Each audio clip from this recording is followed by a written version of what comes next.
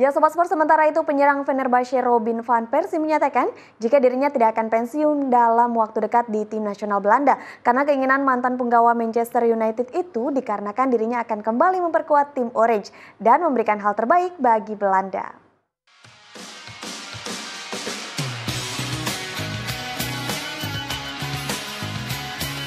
Robin van Persie membeberkan rencana masa depan karirnya bersama timnas Belanda.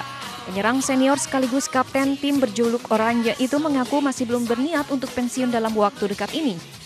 Van Persie menjadi salah satu pemain yang disebut-sebut sebagai biang keladi atas kegagalan timnas Belanda mentas di Euro 2016 Prancis.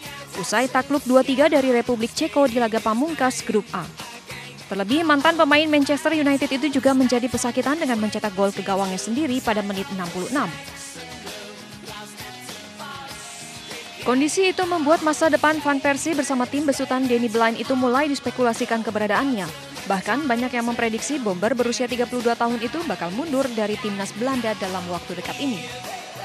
Bagi Persie, dirinya bukan pribadi yang harus lari dari situasi sulit seperti yang dialami timnas Belanda yang tidak tembus di Euro 2016. Van Persie merasa terhormat hingga saat ini bermain untuk Oranje di situasi yang bagus dan periode yang buruk.